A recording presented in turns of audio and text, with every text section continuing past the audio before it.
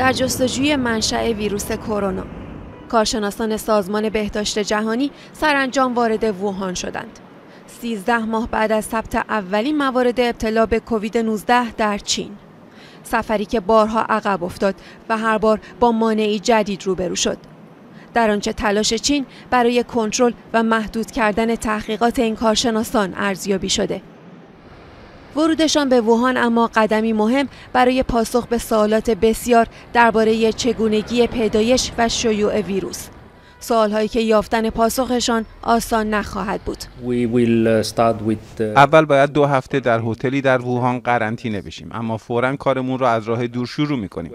بعد از دو هفته می‌تونیم با همکاران چینیمون ملاقات داشته باشیم و از محلهایی که قبلا مشخص کردیم بازدید کنیم. ممکنه خیلی طول بکشه تا دقیقا بفهمیم چه اتفاقی افتاده. فکر نمی کنم با یه سفر بتونیم به جوابهای واضحی برسیم اما وارد این مسیر شده ایم و امیدواریم که در ماهای آینده تحقیقاتمون با سفرهای بیشتر و مطالعات کامل بشه.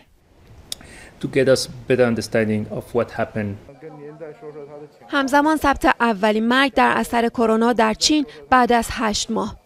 جزئیات بیشتری داده نشده جز اینکه جانباخته در استان هوبی بوده. جایی که چند شهر قرنطینه شدند. در بیروت هجوم به سوپرمارکت ها قبل از آغاز قرنطینه 11 روزه. با افزایش شدید شمار مبتلایان دولت ناچار به بستن کسب و کارها و مدارس. بیمارستان ها ناتوان از پذیرش بیماران جدید. بخشای مراقبت های ویژه تخت خالی ندارند و اولویت به بیمارانی داده می شود که حالشان وخیم است. مقررات جدید شامل کاهش رفت و آمد مسافران در فرودگاه رفیق حریری به 20 درصد ظرفیت. محدودیت رفت و آمد برای مسافرانی که از راه دریا و زمین وارد می شوند ممنوعیت خارج شدن از خانه به مدت 11 روز. کمی آن طرفتر در ترکیه آغاز واکسیناسیون سراسری با واکسن سینوواک ساخت چین. اولین نفر وزیر بهداشت. می‌خوام تاکید کنم که همه باید واکسینه بشن. این تنها راه برای محافظت از خودمون در مقابل این ویروسه. لطفا واکسن بزنید تا بتونیم به زندگی عادی برگردیم.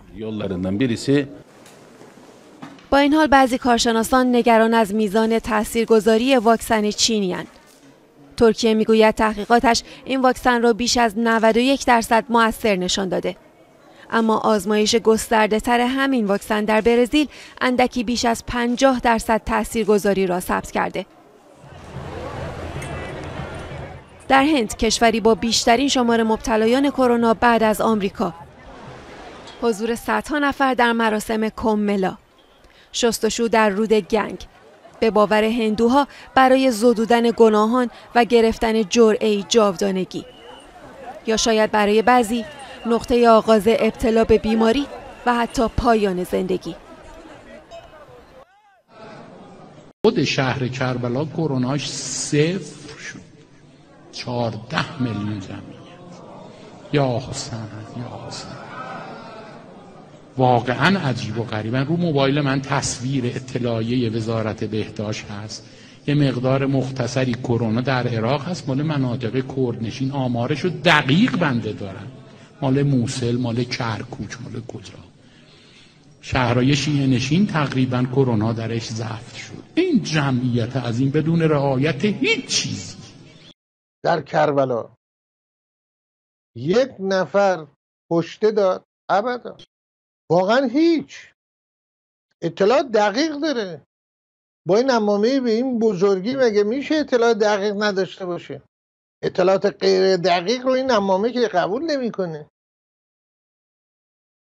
لابلای این نمامه چیزایی هست که اطلاعات دقیق رو فقط چک می‌کنن.